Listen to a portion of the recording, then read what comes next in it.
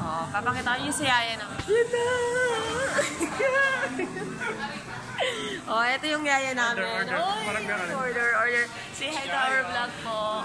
Hi. ano? Anong orderan mo? McFlurry, isang McFlurry. Ano? Ano ba? Ano pa, ma'am? Uy, mag-milk tea ka? Ayaw. Ayaw niya na. Gusto niya mang cha. Meron ba mang cha dito? Matcha po. Mang cha. Ay, wala. Ah, wala. Fries. Large mo na. Regular. Akong bahala. Joke mo. Kasi ng mga kasan. Regular fries lang, ma'am. Ano pa, ma'am? Ngayon pag-aaralan natin kung paano mag-order sa McDo. Oy, paano daw mag-order sa McDo? Una, tatanungin ka muna ni Ate Jamie. Ayun, yung pangalan niya, Ate Jo. Ay, magay ka naman. Mag-win tayo na ka. O yan, ito talaga yung yung mag-jowa pero hindi mag-jowa. Okay na. Oh, may papatilakin na rin ka. Eh, may nakapalit ka. Okay na nga. Yan, may sukli pa pala. Paano gastusin ang isang daan? Magkano ba yan, mga friend? Uy, 88 oh, 88 lang. Look. Sakto, 12 pesos. Wow, Sakwan lang pala, isa lang. Ay, shoutout nga pala sa kaibigan namin si Sir Jay. Ginagawa mo!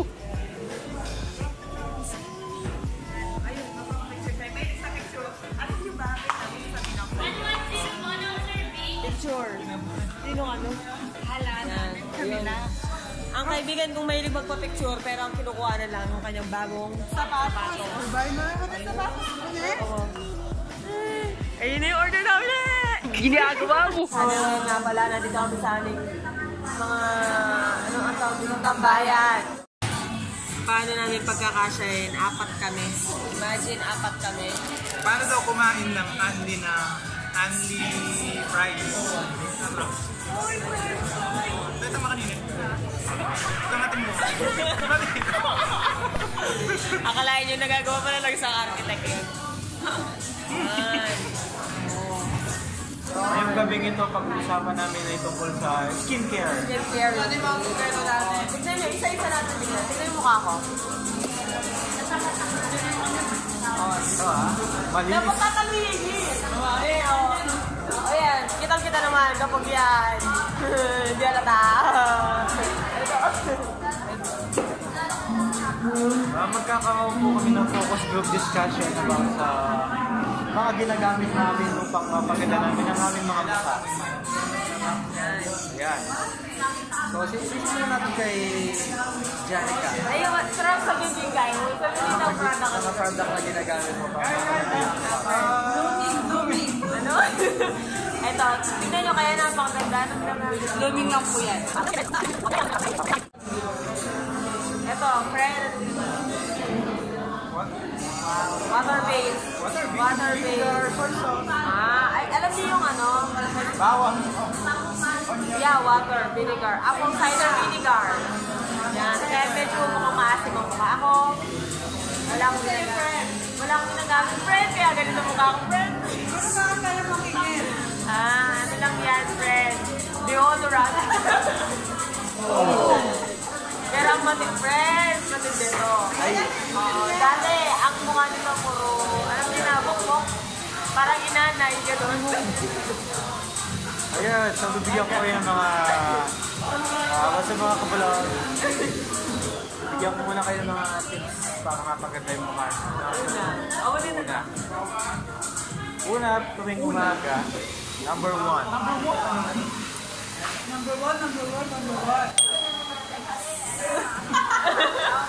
O, ano na yung unang sikreto, friend? Kapag bibigyan ko muna kayo ng background about sa mukha ko dati. Yung mukha ko parang yung dinaanan ng sampung sarap. Ayan. Ito siya. Ayan siya. Ayan yung mukha ko dati. Ayan. Puro butas.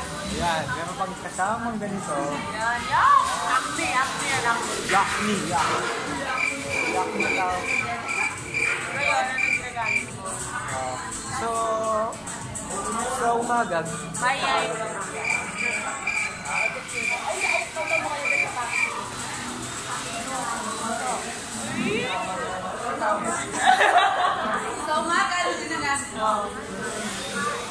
Umaga, gumagamit ako ng ano, yung clean and clear. Alam niyo ba yun?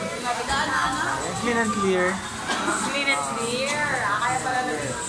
Kaya naging clean yung face ko, naging clear din yung pagmumukha ko. Okay, tapos pangalawa, gumagamit ako ng mga aloe vera, mga aloe vera cream, bago matulog, bago, at bago gumising, naglalagay ako. O yun. Diba? Hindi mo nakakatawa, pero tumawa siya. Eh, may good Ah, pakatlo yung mga ano, ginagamit namin yun. Yun. Yung mga, basta yung mga eye white na aloe vera spray. Gumagamit din kami ng ano, yung witch, Favorite. uh, witch hazel. Ayan, pag ano, pinanliligo ko yun. Pero ngayon, Pero ngayon, yung, yung pinakamagandang gamit ko ngayon para makulinis yung mukha ko. Yun yung muna. yes, tama. Ayan. So, ina-flash ko po muna yung mukha ko dati. Ayan. Ayan po yung mukha ko dati. At alam niyo ba kung ano yung sikretong pinakamalapit sa sasabihin? Sasabihin ko na. Sa wakas. Nung dati, oh, dati kasi guys yung gamit ko, kaya yung mukha ko, burog-burog, yung dating gamit ko ay Samsung. Ayun. Oo. Kaya yung Samsung, nung siya yung gamit ko, makikita niyo yung face ko, burog-burog siya. Kaso, sin tinakay ko naman yung Oppo. Kung sinubukan ko naman yung Oppo, masyado kong pumuti yung mukha ko. Ayun po yung disadvantage. Oo. Masyadong effective. Gusto ko yung mga magkulay, magkulay ka ng tano kayo natural color ng face. Ayun kayo masyadong maputi yung mukha. Ayun. So napakinis ng Huawei.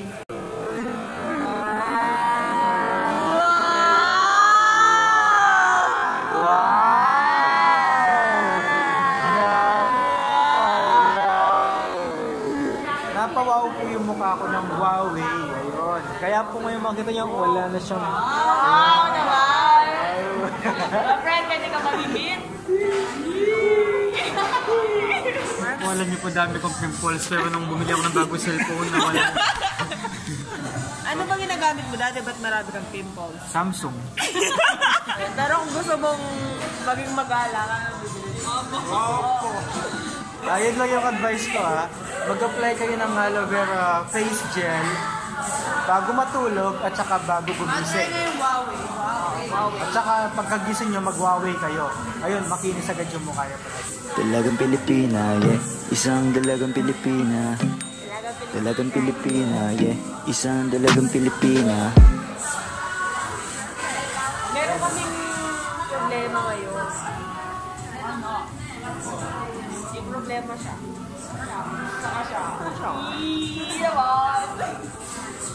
ginagawa yung video na to kasi wala pa siyang boyfriend. Masyado kasi siyang cheesy. Kaya kami pagka kami ginagawa namin siyang yaya. Diba? Oo, yaya. Lalo na to, 35 years old, wala pa rin girlfriend. Ah, 34 yata ako. Sabihin niyo lang sa kanya dyan. Hi guys! Okay, ganyan na muna.